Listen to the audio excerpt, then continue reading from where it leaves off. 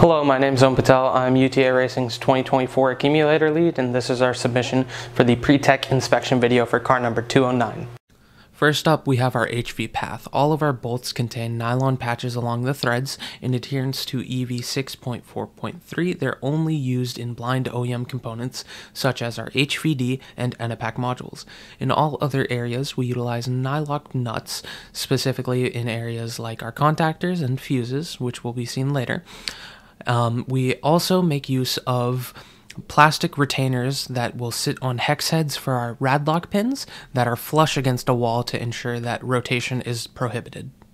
Up next, we have our PCB that contains both GLV and tractive system components. It's a part of the pre-charge discharge circuit as well as tractive system active light sensing board. Um, it has a 12.7 millimeter gap in which no other components are placed besides an optocoupler, which is under that 12.7 millimeters, hence conformal coating is required, which can be seen through the UV light in the clip. We also have included a board without conformal coating as reference. Moving on to the internals of the accumulator, every conductive surface is either covered by Kapton or Kevlar as seen here. And then we're going to move to this side where we can see our main high voltage fuse which is housed behind this cover as well as our contactors which are behind the BMS.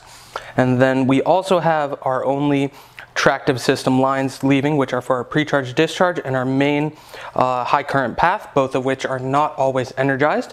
And then if we move down here, we can see our fusing for both our branch circuits. Moving on to our maintenance plugs, we utilize RadLok connectors, which can be removed without any tools as seen here.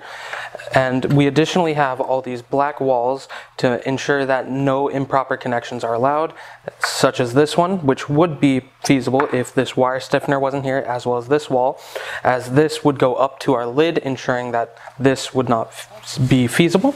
This wire goes like this. This one is meant to connect these two in this manner, and it cannot be used to cross all the way as it is not long enough for that. Same for these. And then we have this wire, which is meant to connect between these two pins right here. And it is also not able to bend long enough due to the wire stiffener as seen there. This section goes right here. And then our last one is this plug, which goes right here. None of which are long enough to cross over or go between any two other connectors, except for these two, which are interchangeable, but those don't matter as they connect the same pins regardless.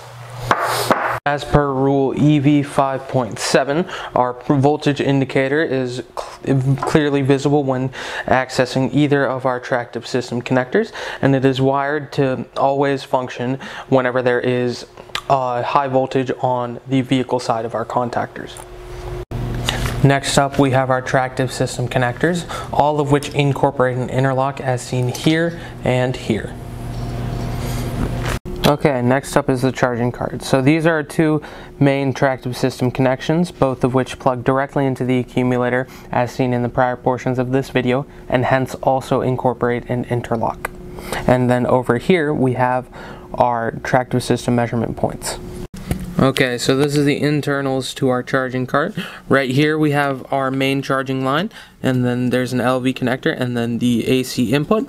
Our main charging line has an interlock as seen in the center, which ensures that the charger will only function if everything is connected properly.